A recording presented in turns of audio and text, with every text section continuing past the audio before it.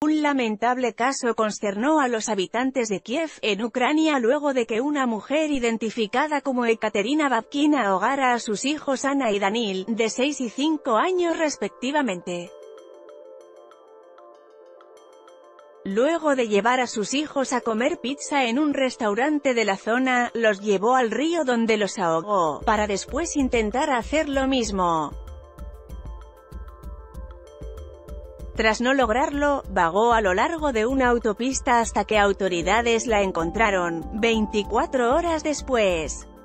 Según lo que declaró la mujer a los policías que la arrestaron ahogó a los niños para salvarlos del fin del mundo. La mujer, que se desempeñaba como maestra de enfermería, se encontraba en una profunda depresión luego de que se quedó sola con sus hijos tras divorciarse de su exmarido, quien la había dejado para casarse con una mujer menor. Una de las amigas de la mujer declaró a las autoridades que Caterina sospechaba de la infidelidad de su marido, y temía que la abandonara por una mujer más joven que ella, lo cual ocurrió, lo cual hizo que cayera en depresión. Las autoridades le practicaron a la mujer diversos exámenes psicológicos, y tras los cuales determinaron que Ekaterina no era responsable de sus acciones durante el crimen, pues se encontraba en una situación mental sumamente vulnerable, que todavía la queja.